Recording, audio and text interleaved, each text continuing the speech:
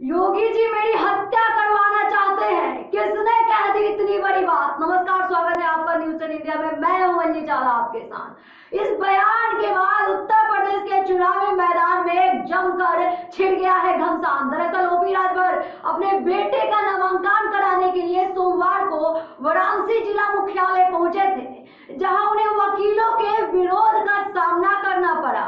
वकीलों ने ओम प्रकाश राजभर और सपा के समर्थकों के सामने जय श्री राम के नारे लगाने शुरू कर दिए।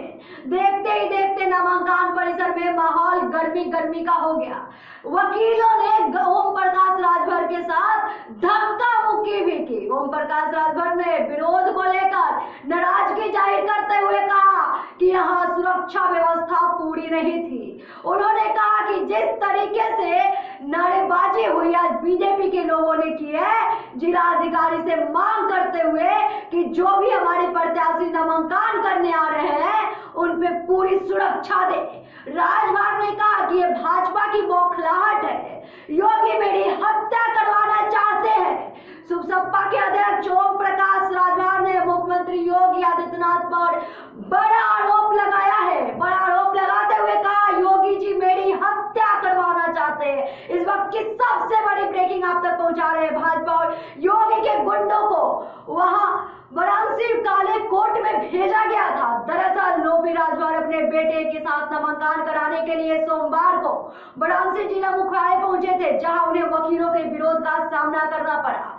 वकील ने ओम प्रकाश राजभर और सपा के समर्थकों के सामने जय श्री राम के नारे लगाने शुरू कर दिए।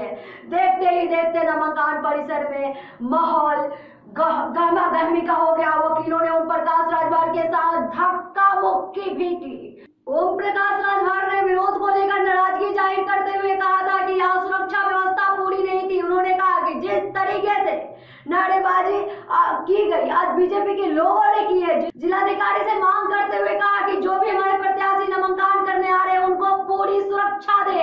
राजभर ने कहा कि ये भाजपा की बौखलाहट है, जो इस तरह की नारेबाजी करवाती है सुभाषपा के अध्यक्ष ओम प्रकाश राजभर ने मुख्यमंत्री योगी आदित्यनाथ पर बड़ा आरोप लगाया। कहा, योगी जी मेरी हत्या करवाना चाहते हैं। भाजपा और योगी के गुंडों को वह वाराणसी काले कोर्ट में भेजा गया था। इस खबर के बारे में आपका क्या राय है? अब देखना यह होगा कि योगी इस पलटवार में क्या कहते हैं? भाजपा के लोग इसके बारे में क्या कहते हैं? अभी तक किसी के तरफ़ से कोई सफ़ाई नहीं आई है। किसी ने कुछ नहीं बोला है। यह खबर आपको कैसी लगी? लाइक करें सब्सक्राइब करें और कमेंट बॉक्स में ज़रूर बताएँ। साथ ही आगे की खबरों के अपडेट में बने रहने के लिए नोटिफिकेशन बिल बजाना ना भूलें, ताकि खबरों का अपडेट सबसे पहले आप तक पहुँचे।